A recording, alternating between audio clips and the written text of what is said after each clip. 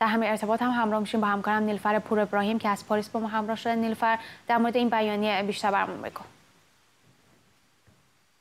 بله خانم ثابت عضو افتخاری انجمن قلم اتریش و همینطور دانمارک هست و قبل از این از این انجمن شناخته شده و بین المللی جایزه نویسنده دلیل رو در سال 2017 گرفته و به همین دلیل هست که این انجمن به طور مشخص وضعیت او رو زیر نظر گرفته به خصوص بعد از بازداشتش و حالا داره ابراز نگرانی می‌کنه از وضعیت سلامت او در زندان. خانم ثابت 70 سال داره و اینطور که انجمن قلم میگه به نقل از منابعش میگه وضعیت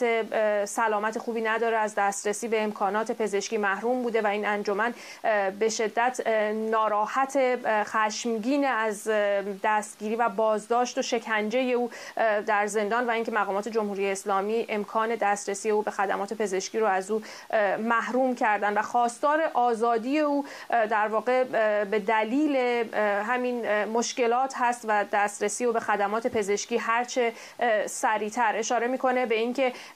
خانواده او هم تحت آزار قرار گرفتن و مجبور شدن هفته گذشته خانه خودشون رو ترک بکنن به دلیل فشارهای جمهوری اسلامی و اینکه در واقع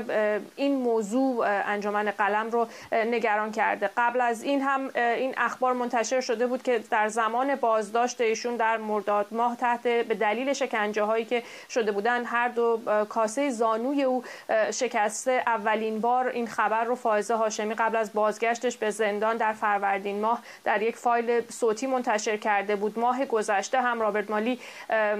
نماینده ویژه آمریکا در امور ایران در توییت این موضوع رو اعلام کرده بود و حالا هم انجمن قلم به نقل از منابع آگاه داره به این موضوع اشاره می‌کنه. به غیر از اون هم می‌دونیم که طبق گفته افراد بسیاری خانم محوش ثابت از ماه گذشته حداقل امکان دسترسی به در واقع تلفن رو ندارن و جز کسانی هستند که از مکالمات تلفنی محروم شدن در زمان بازداشت هم ابتدا در زندان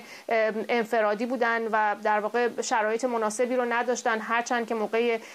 دستگیری و بازداشت کرونا داشتن و در شرایط مناسبی نگهداری نشدن. خانم ثابت قبل از این هم زندانی بوده در سال 90 ببخشید از سال 1386 تا 96 ده سال بدون مرخصی در زندان بوده و بعد از اون اشعاری رو منتشر کرده از همین تجربه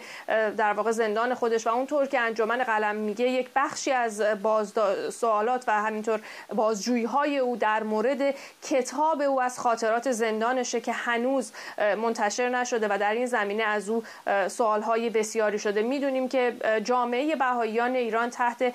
فشار بسیار هستند و اونطور که بارها گفته شده فقط به دلیل اعتقاداتشون با سرکوب و همینطور بازداشت و آزار و اذیت سیستماتیک از طرف جمهوری اسلامی روبرو هستند که باعث در واقع واکنش از طرف سازمان ها و نهادهای حقوق بشری هم هست. بسیار متشکرم از تو نیلفر پور ابراهیم. همکارم که از پاریس ما همراهی کردی